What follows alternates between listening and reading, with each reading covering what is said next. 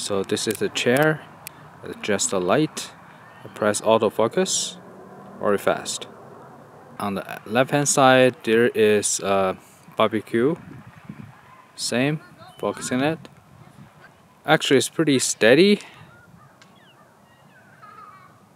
You can see very clear.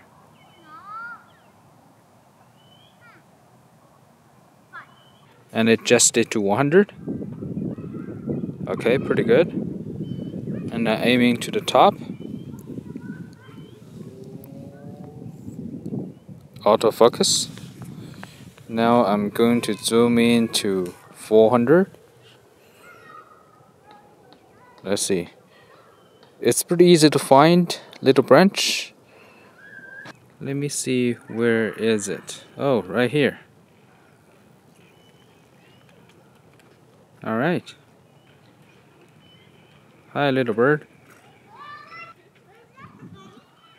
I think the range is like 50 meters from here. And it's pretty easy to focus.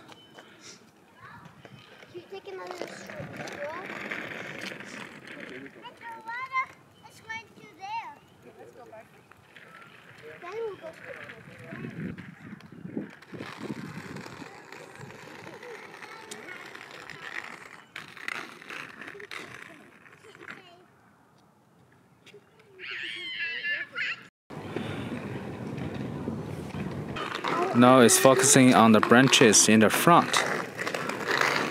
It's pretty good. And now I'm focusing on the fence. Good job.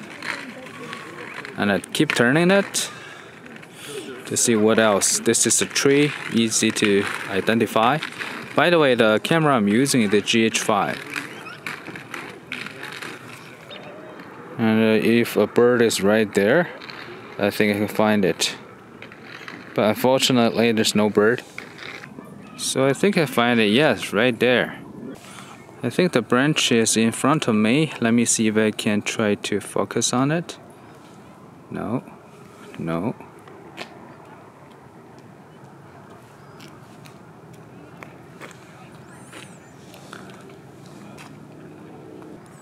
Okay, it's right here. Oh, run away. So I think if you want to track some dog like this, uh, you still can hold it pretty steady. And I find a bird nest and I put it on the manual focus. Let's see how about the focus ring, if it works.